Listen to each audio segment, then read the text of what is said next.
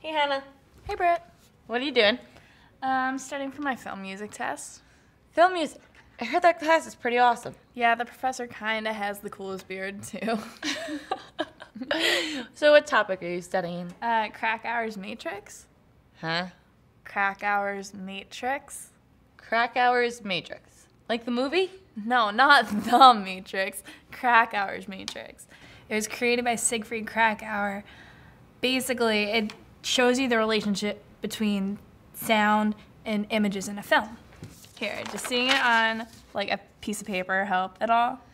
Kind of, but what do all the numbers stand for? Well, according to Kracauer, there's like six different types of sound, and then they're broken down into three sections synchronous and asynchronous, actual sound and commentative sound, and parallel and counterpoint.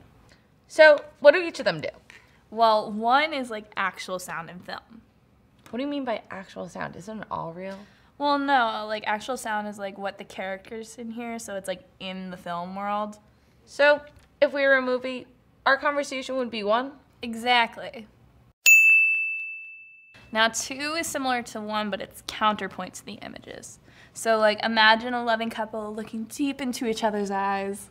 But wait, isn't that still one? Well, no. Imagine if they are like talking to one another and making really nasty remarks, but in the lovingest way possible. I wish your head was a baseball so I could hit it with my bat. Oh, that's sweet. I don't have to hit your face because it's already deformed. Oh, sweetie, the only thing worse than your insults is your cooking. If you had one ounce of taste in your body, you would say that my cooking is good. If you had one ounce of taste in your food, I would say your cooking is good. Okay, so I think I'm starting to get the hang of this. Well, we haven't gone over the threes and fours yet. There's multiples of each? Yeah, uh, because they're asynchronous, you have to account for the actual and the commentative sound. So let's start with threes first. So any movie with a narrator is a good example of 3A. This is where it all started. Our story starts here. Once upon a time, four score and seven years ago. Oh, these cliches will never work if I want to make it as a narrator. Wait, do you hear that? It's my own voice. Maybe I'm already a narrator and I didn't even know it. It's like poet and I didn't know it. Except it's like narrator and I didn't marinator. Yeah, I need to work on that. I wonder if I can sing.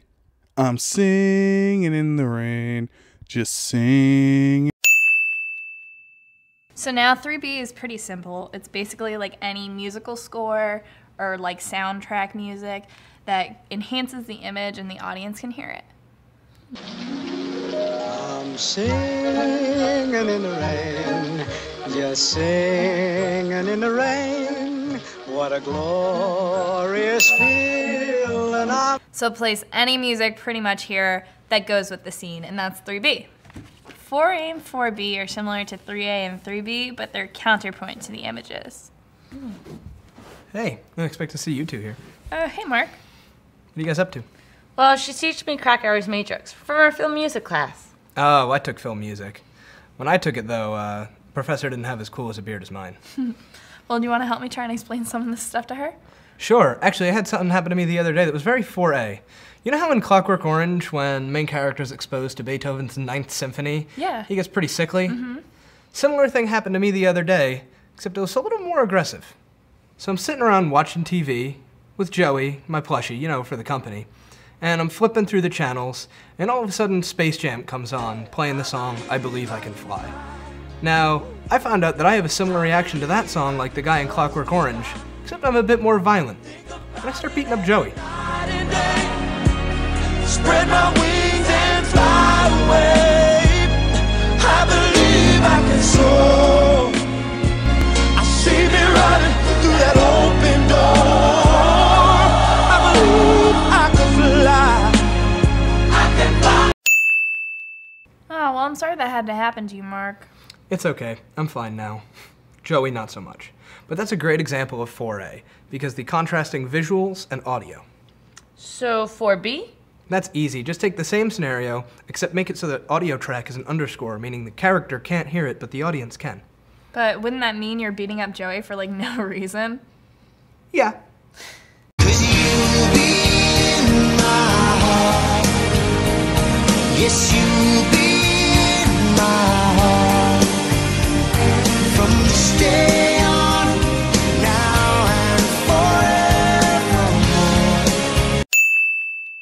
So now do you understand Kracauer's matrix now, Brittany? Yeah, I think I get it. You look at the visuals in the film and connect them depending on if they're synchronous or asynchronous, parallel or counterpoint, or actual sound and commentative. You choose the corresponding number. Any combination is possible, and they all exist in a world together like a. Uh, Like, a matrix? yeah! Oh, yeah. Now that makes sense.